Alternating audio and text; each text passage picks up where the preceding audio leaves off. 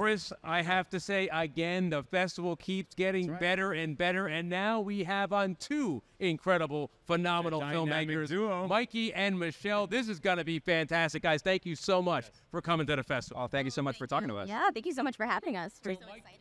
Mikey and Michel This is something fantastic. This is a festival that's beyond just filmmaking. It's a cultural event. What brought you two here to this festival, particularly, and the project you created?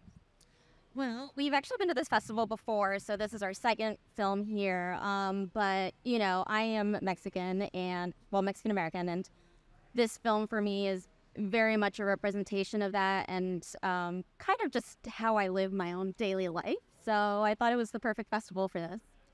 Yeah, and it was so great to come back to this one. We went, uh, it was 2021.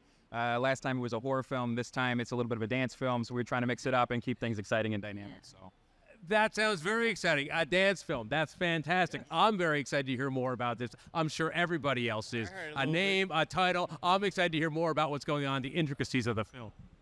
Um, the film is called Cheery Up Baby. Uh, so yeah, so the the film is about a woman who's suffering uh, with grief and anxiety, and she's just trying to get through it the best way she knows how, through the power of pink and positivity and dance.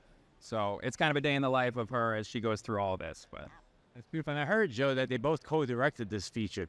Uh, feature? Uh, short. Short, you mean? Yeah.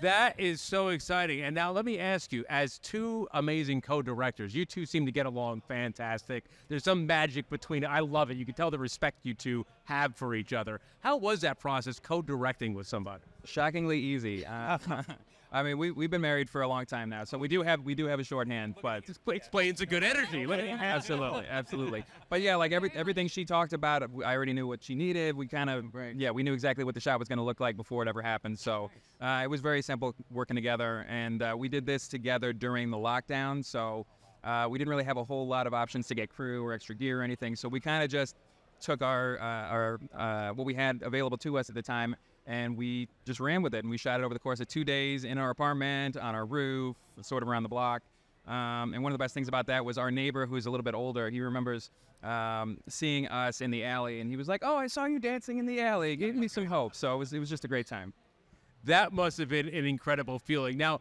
I'm excited to learn more about the two of you. Did you two meet over the arts, or did you guys kind of find the arts once you were already together? We did actually. I mean, technically, yes. We met at NYU. Um, Mikey was my RA. scandalous scandalous but that's how we It was all about board.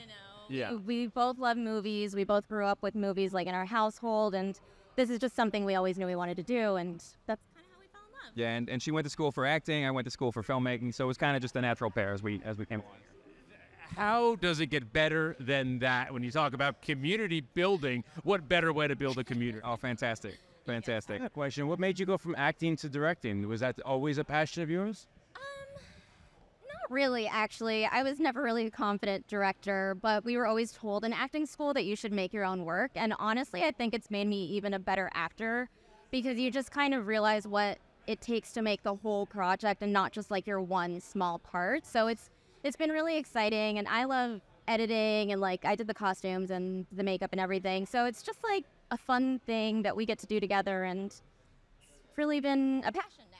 Yeah. When you create a project like that, something out of passion, and now it ends up coming out at an amazing festival like this in Manhattan, beautiful Regal Cinemas. I mean, what a place to debut your film.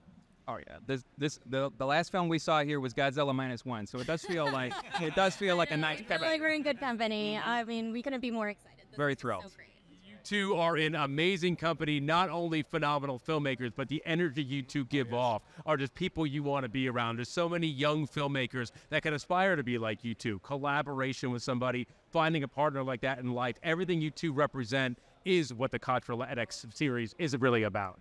Thank you so much. Yeah. One more question, actually, about this dancing thing and not not needing. Did you storyboard this? Was just because you guys, as the dancers, you go to dance class all the time, and it was kind of in the blood? And Um, well, we didn't storyboard, but since we shot it in our apartment, I literally would just stand here, stand there, and be like, and then this is what I want this shot to look like, or this with this kind of lighting. And I mean, it took a little bit of choreography because with the camera, we have some shots that are kind of moving around, so you want to make sure you're not like tripping over anybody. And that was just Right. uh, the hardest part. Actually, was to make it feel seamless, just the two of us, you know. So And as a non-dancer, dancing around with a gimbal um, while you're watching a tiny little thing and you're trying not to fall over, uh, you know, I feel like a dancer as a result of this. So, you know. I don't think any filmmaker out there can relate 100% to what you're talking about. I love That it, is one really. person. I cannot wait to watch this film. I'm very excited. Please, we want to be able to showcase you guys as much as possible. Any social medias people can follow the film or you two on that we can look up? yes, we each have our own personal Instagram. Mine is Michelle Debadome, and Uh, mine is Mikey Dominguez Beddome. and then we have our M&M DB Films. I Yes, M A N D B F I L M S. So, um, and actually, It's the best way to though her name is Michelle, it is spelled M I C H E L. So if you're trying to find her and you don't see Michel Dominguez Beddome, it's it looks like French Michael. French Michael. Yeah. Yeah, heard it right, brother. Guys, thank you so much to both of you. Really, two phenomenal people. Make sure to look them up on their socials and get down here to 129 Delancey and be a part of this fantastic festival because it comes around once a year and everybody's going to love it. Thank you two so much for coming on board. We cannot wait, again, really, to come watching your film. Thank you. Thank you, guys.